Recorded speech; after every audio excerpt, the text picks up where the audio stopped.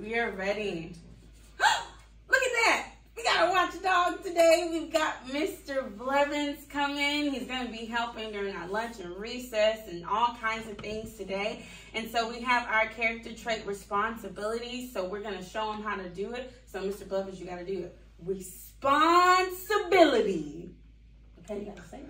Responsibility. Being prepared for class this week and take care of your responsibilities in a timely manner.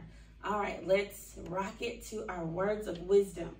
All right, so this morning, Mr. Blevins, let's check it out. I want you to think about all the good people who help to make your life better. People like your teachers or your doctor or our service members like the police and firemen who always try to keep us safe. Now, listen to this important idea. There are no limits to what you can do if you believe in people and want to improve the world.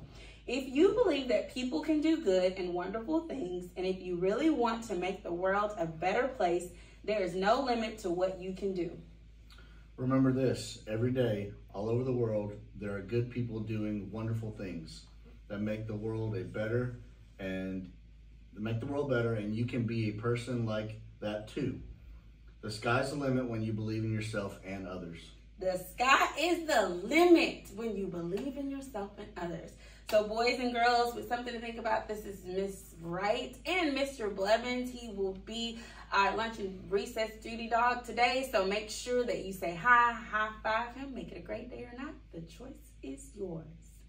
Now, for our cup commitment, we do this. We gotta make our pledge, Mr. Blevins. All right, let's go. I am a Gordon Reed Cub.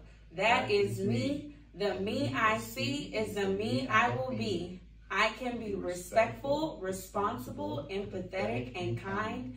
I will keep collaboration, citizenship, and honesty on my mind. I will represent my school with yellow and blue. I will show perseverance and gratitude in everything I do. I am a Gordon Reed Cub. That is me. I am ready to believe, grow, and achieve.